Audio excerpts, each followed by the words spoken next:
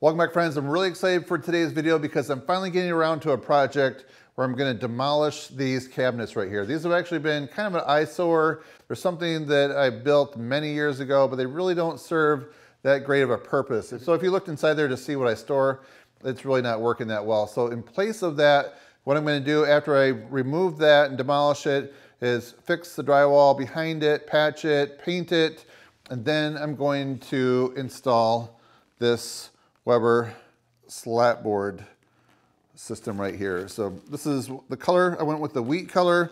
So this is something that I picked up at Home Depot. So let's get into it and start the demo.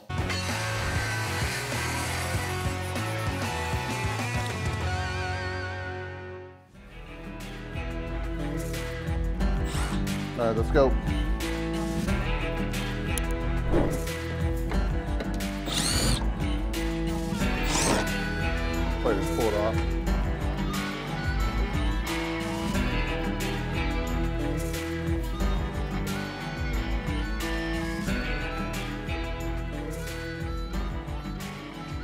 Ooh, nice. Here's the first positive thing.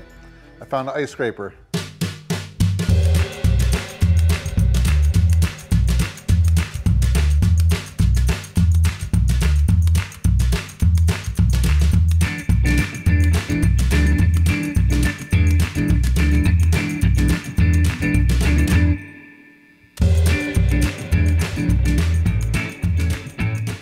A look at where all my indoor videos take place. This is a really nice, handy work corner, but the issue is it's a work corner and that means that there's always stuff laying around. It's kind of messy.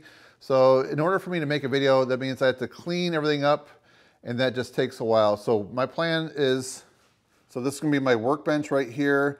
These right here on both sides are gonna be a Packout storage system and across the top, I'm gonna have Packout crates. So you can see all this back here, that's gonna be the slat board. I'm gonna have some lights coming down. And then right here is an adjustable height work table. And that's where I'm gonna have a lot of my tool reviews so I can raise that up and down depending on what there is. And this will always stay clean. So if I wanna quick make a video, this right here is gonna be my go-to. But with all that said, you're probably gonna see me in this work corner once in a while too.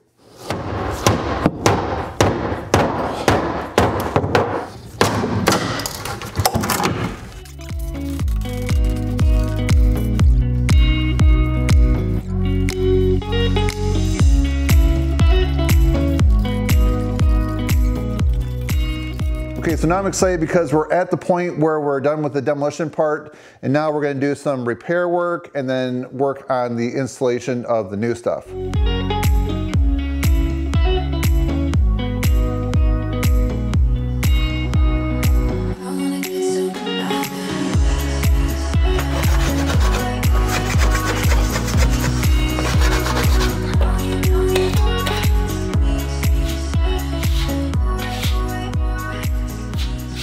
All right, so I'm glad now to be to this point where I'm putting the primer on. This should go pretty fast. I spent the last two days doing drywall mudding and sanding and cleanup. So let's get started.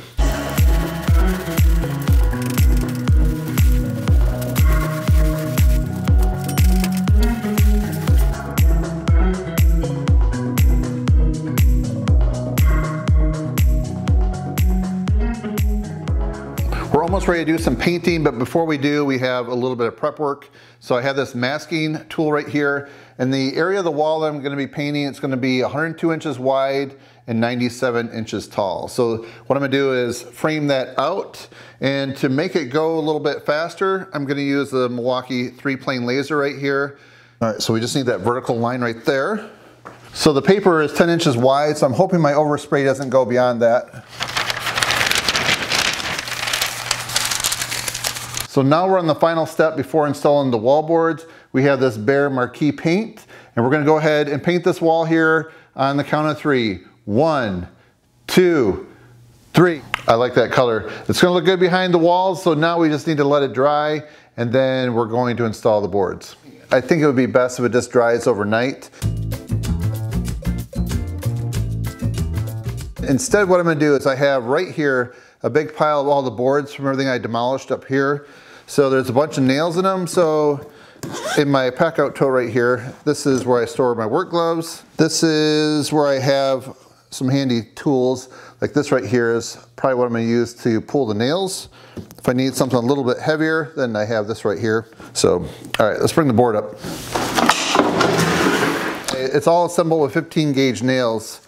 So I can actually grab a hold of it pretty well with these, I call them side nippers. I'm not really sure what the term is. So since these boards are worth about 20 bucks a piece and they're still fairly straight, I'm gonna have to find a place to store them temporarily or just put them in another project.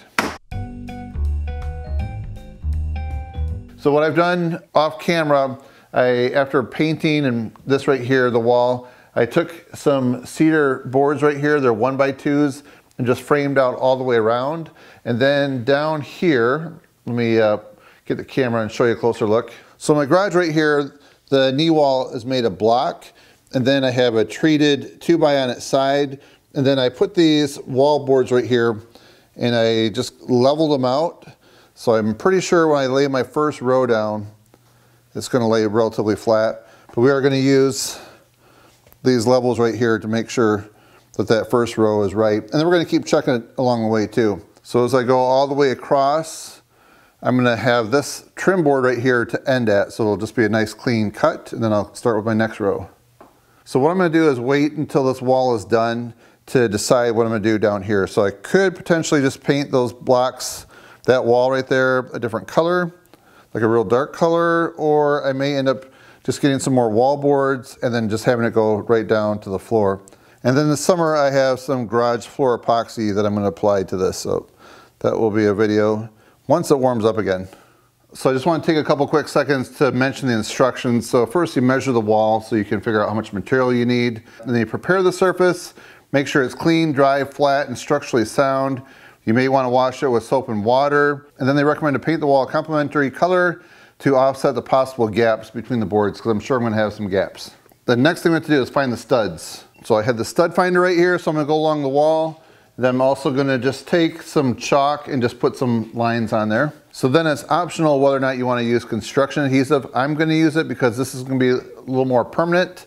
If it's more temporary or semi-permanent, then you may not want to use construction adhesive if you're just gonna take it down in a short time. And then when it comes to fastening the boards down, I'm gonna use a Milwaukee 15 gauge nailer right here. So some people said they can get by with an 18 gauge. I just feel that something like this, a 15 gauge is the way to go. So I'm running inch and a half nails, and if it doesn't seem to work that well, then I have some two inch that I'll go to next. That's really cool. Puts an arrow.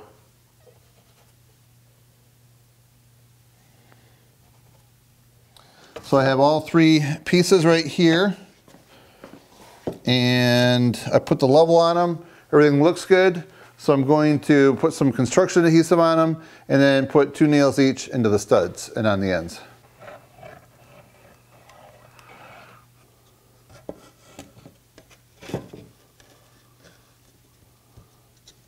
I've only had this 15 gauge nailer for a short time. Before this one, I had a air powered one and it's just so nice not having to have the cord. So let's get started here. All right, that one, they're driving in pretty far, so I'm gonna change the depth adjustment.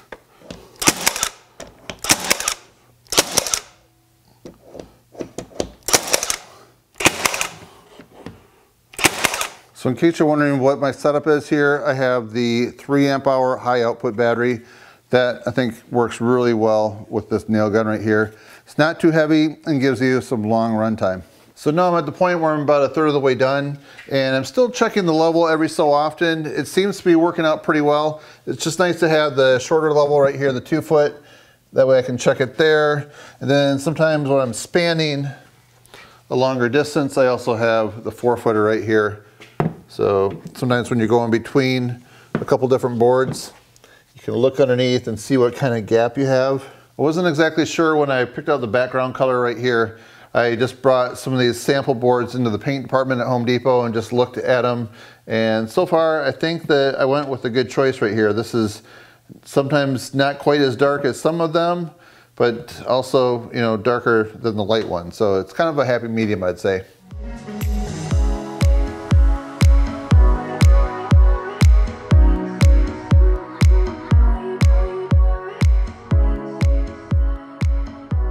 So it's one final step that I did. It's the very bottom piece. I want to have that transition underneath where the wall, the garage attaches to the concrete block.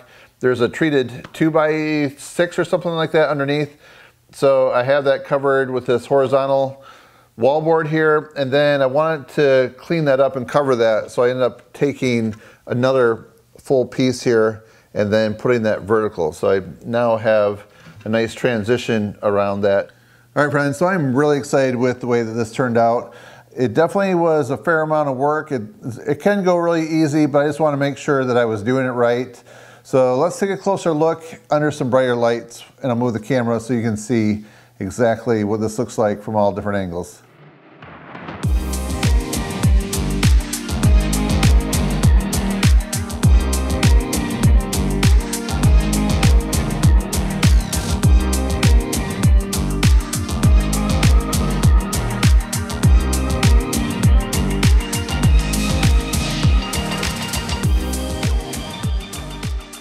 So I was just looking at my empty boxes from the wall boards and I thought I would let you know how I did this. So I end up using two boxes of the weathered hardwood. That gives you some of those different colors there. And then I end up using four of the wheat color. So I just wanted to kind of make my own pattern that's a little bit different than what they sell. So it's just a little bit more custom than what anybody else might have. So that's the way that I did it. And if you happen to have any questions about the install or any of the tools that I use, let me know. I'll have a link down below if you want to check these tools out. All right, so please let me know what you think in the comment section down below. I always enjoy interacting with you guys. And if you find this video to be interesting, helpful, and informative, please give it a thumbs up and help support my channel. That's it, friends. Thanks for watching. See you next time.